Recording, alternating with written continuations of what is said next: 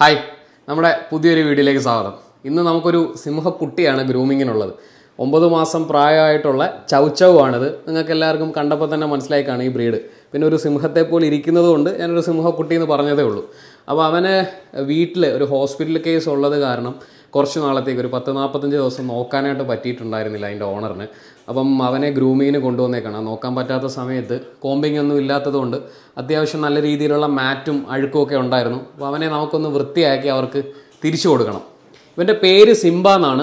അപ്പം പാവമാണ് കേട്ടോ. കടിക്കത്തൊന്നുമില്ല. ഈ ഒരു സിംഹത്തിന്റെ ലുക്ക് മാത്രമേ ഉള്ളൂ. അപ്പോൾ നമുക്ക് ഇവന്റെ ഗ്രൂമിങ് ഒന്ന് കാണാം. ചൗച്ചൗ എന്ന് പറയുന്ന ബ്രീഡ് വേൾഡിലെ തന്നെ one of the oldest dog ബ്രീഡിലെ ഒരു ഡോഗാണ് ചൗച്ചൗ.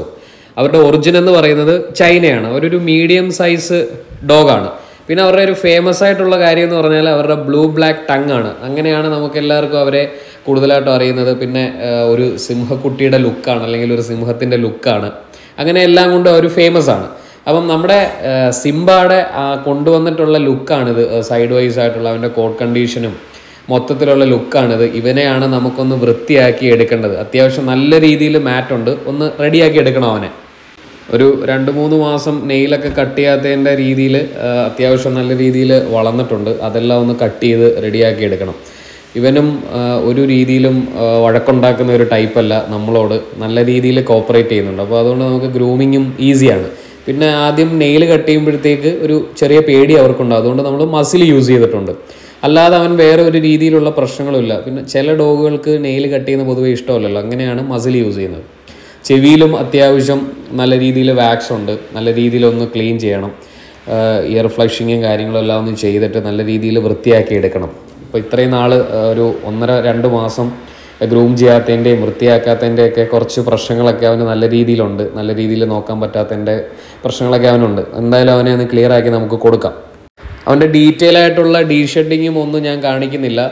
നിങ്ങൾക്ക് ആദ്യം കാണുമ്പം തന്നെ അവന്റെ കണ്ടീഷൻ അറിയാമല്ലോ അപ്പോൾ അവന്റെ ഡീ ഷെഡിങ്ങും എല്ലാം കഴിഞ്ഞ് മാറ്റെല്ലാം എടുത്ത് ഏകദേശം ഒന്ന് ക്ലിയർ ആക്കിയിട്ടുണ്ട് അവന്റെ കോട്ട് ഇനി നമുക്ക് കുളിപ്പിച്ച് വൃത്തിയാക്കിയിട്ട് വീണ്ടും ഒന്ന് ഡീ ഷെഡ് ചെയ്യണം. എന്താ ആദ്യം കൊണ്ടുവന്ന ലുക്കല്ല അവന്റെ ഡീ ഷെഡിങ് എല്ലാം കഴിഞ്ഞപ്പോഴത്തേക്ക് അഴുക്കും ജടയും കാര്യങ്ങളും എല്ലാം എടുത്ത് കളഞ്ഞിട്ടുണ്ട്.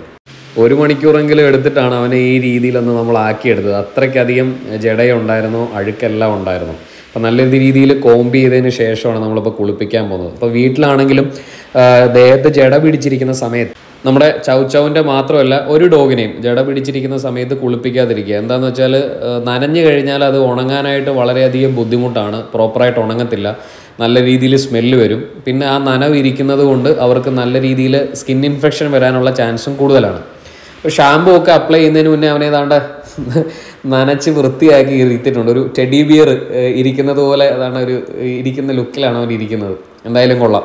ഒരു സിംഹത്തിന്റെയും കുളിപ്പിക്കാനായിട്ട് വെള്ളം ഒഴിച്ചു കഴിഞ്ഞപ്പോഴത്തേക്ക് ഒരു ടെഡി ബിയറിന്റെ ലുക്കും ഉണ്ട്. നമ്മൾ എല്ലാ ഡോഗിനെയും ചെയ്യുന്നത് പോലെ തന്നെ ഫസ്റ്റ് ഷാമ്പൂവിൽ നല്ല രീതിയിൽ വാഷ് ചെയ്ത് തേച്ച് കഴുകി വൃത്തിയാക്കണം. അവന്റെ കോട്ടെല്ലാം നല്ല രീതിയിൽ അഴുക്കുണ്ടായിരുന്നല്ലോ.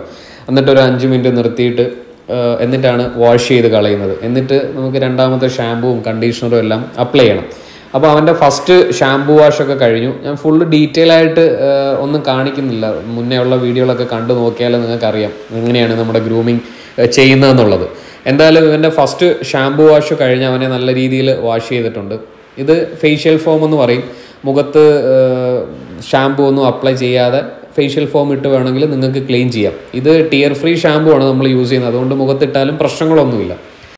സിംബയ്ക്ക് ചെറിയ രീതിയിലുള്ള സ്കിൻ ഇൻഫെക്ഷൻ അവന്റെ ദേഹത്തും ആ കണ്ണിന്റെ സൈഡിലൊക്കെ ഉണ്ട്. നമുക്ക് ഗ്രൂമിങ് കഴിഞ്ഞിട്ട് വേണം നമ്മുടെ ഇവിടുത്തെ ഡോക്ടറെ ഒന്ന് പ്രോപ്പറായിട്ട് കാണിക്കാൻ വേണ്ടിയിട്ട്. വരുമ്പം തന്നെ നമ്മൾ ചെക്കപ്പ് ചെയ്തിട്ടുണ്ടായിരുന്നു. അപ്പോൾ ഗ്രൂമിങ് കഴിഞ്ഞിട്ട് കൊണ്ടുചെല്ലാനാണ് പറഞ്ഞേക്കുന്നത്. അവന്റെ കാലിലും കണ്ണിന്റെ സൈഡിലൊക്കെ നല്ല രീതിയിലായിട്ടുണ്ട്. അപ്പോൾ അതിന്റെ ട്രീറ്റ്മെന്റും അവന് കൊടുക്കണം. ഗ്രൂമിങ് കഴിഞ്ഞിട്ട്. ഷാംപൂ വാഷ് എല്ലാം കഴിഞ്ഞ് കണ്ടീഷണർ അപ്ലൈ ചെയ്തുകൊണ്ടിരിക്കുകയാണ് കണ്ടീഷണർ അപ്ലൈ ചെയ്തതെന്ന് പറഞ്ഞാൽ ഞാൻ കഴിഞ്ഞ വീഡിയോയിലും പറഞ്ഞിട്ടുണ്ട്. അവരുടെ സ്കിന്നും ഹെയറും ഒക്കെ ഒന്ന് ഹൈഡ്രേറ്റഡ് ആയിട്ട് ഇരിക്കാൻ വേണ്ടിയിട്ടാണ്. അപ്പോൾ ഇതെല്ലാം കഴിഞ്ഞ് നമ്മൾ പ്രോപ്പറായിട്ട് വാഷ് ചെയ്യാണ് സിംബായെ.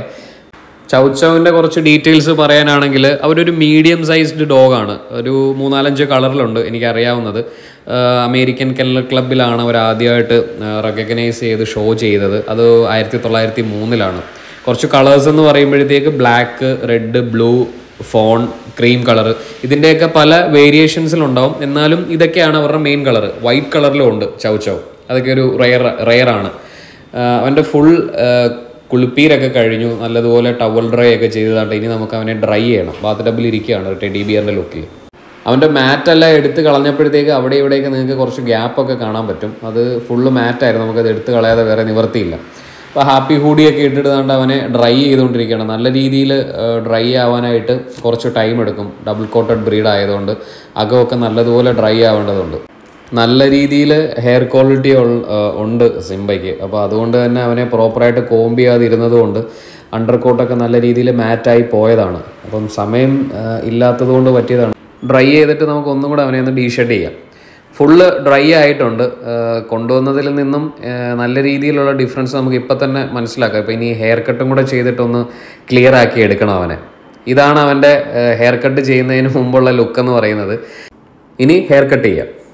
ഇതാണ് സിംബാടെ ഹെയർ കട്ട് കഴിഞ്ഞിട്ടുള്ള ലുക്ക് എന്ന് പറയുന്നത് ബിഫോർ ആഫ്റ്റർ പിക്ക് ഞാൻ ലാസ്റ്റ് ഇതിന്റെ കൂടെ ആഡ് ചെയ്യുന്നുണ്ട്. നിങ്ങൾക്കത് കാണുമ്പോഴത്തേക്ക് ഒരു ടോട്ടലി ഉള്ള ഒരു ഡിഫറൻസ് നല്ല രീതിയിൽ മനസ്സിലാവും. എന്തായാലും അത്യാവശ്യം നല്ല രീതിയിൽ തന്നെ അവനെ ഫിനിഷ് ചെയ്യാൻ പറ്റിയിട്ടുണ്ട്. അവിടെ ഇവിടെയൊക്കെ മാറ്റ് എടുത്ത് കളഞ്ഞതിന്റെ കുറച്ച് ഗ്യാപ്പും ഒക്കെ ഉണ്ടെങ്കിലും മാക്സിമം പറ്റുന്ന രീതിയിൽ നമ്മൾ നല്ല രീതിയിൽ ഫിനിഷ് ചെയ്തിട്ടുണ്ട്. സിംബാടെ ഗ്രൂമിങ് കഴിഞ്ഞിട്ട് അവനൊരു ടെഡി ബിയർ ലുക്കിലാണോ ഒരു സിംഹക്കുട്ടിയുടെ ലുക്കിലാണോ എന്നുള്ള കാര്യങ്ങളൊക്കെ നിങ്ങളൊന്ന് കമന്റായിട്ട് അറിയിക്കുക. അതുപോലെ തന്നെ നമ്മുടെ ഗ്രൂമിങ് വീഡിയോ ഇഷ്ടമായിട്ടുണ്ടെങ്കിൽ വീഡിയോ ലൈക്ക് ചെയ്യുക. ഇപ്പോൾ ലൈക്ക് വെച്ചിട്ട് എനിക്ക് അറിയാൻ പറ്റും നിങ്ങൾക്ക് വീഡിയോ ഇഷ്ടമായിട്ടുണ്ടോ ഇല്ലയോ എന്നുള്ളത്. ഹായ് ബ്രോ എങ്ങനെയുണ്ട് നമ്മുടെ സിംബ? ആ ഒക്കെ കഴിഞ്ഞിട്ട് എങ്ങനെയുണ്ട്? നല്ല സുന്ദര കുട്ടപ്പനായിട്ടുണ്ട്. ഇഷ്ടമായോ? ഇഷ്ടമായി. കൊണ്ടുവരുമ്പോൾ എങ്ങനെയുണ്ടായിരുന്നു നല്ലോണം ഡിഫറൻസ് അറിയാനുണ്ടോ? നല്ല ഡിഫറൻസ് അറിയാനുണ്ട്. ഉണ്ട്. ഇവന്റെ ആദ്യത്തെ ഗ്രൂമിങ് ആണോ ഇത്? ആദ്യത്തെ ഗ്രൂമിങ് ഇവൻ കുഴപ്പമൊന്നുമില്ലായിരുന്നു. ഇപ്പൊ പാവമാണ് കേട്ടോ. ഇനി അപ്പൊ അടുത്ത പ്രാവശ്യം കാണാം നമുക്ക്. സിംബ? സിംബയുടെ ഫുൾ ഗ്രൂമിങ് കഴിഞ്ഞിട്ടുണ്ട്. അവൻ നല്ല മാറ്റഡായിട്ടും അഴുക്കായിട്ടൊക്കെയാണ് വന്നത്. അപ്പോൾ എന്തായാലും കുളിപ്പിച്ച് വൃത്തിയാക്കി ഹെയർ കട്ടൊക്കെ ചെയ്താണ്ട് ഒരു ടെഡി ബിയറിന്റെ ലുക്കാക്കിയതാണ്ട് ഇവിടെ നിർത്തിയിട്ടുണ്ട്. നിങ്ങൾക്കെല്ലാം ഇഷ്ടപ്പെട്ടെന്ന് വിചാരിക്കുന്നു. നമുക്കിനി ഇതേപോലെ വീണ്ടും ഒരു പെറ്റ്സ് റിലേറ്റഡ് വീഡിയോ ആയിട്ട് വീണ്ടും കാണാം. ബൈ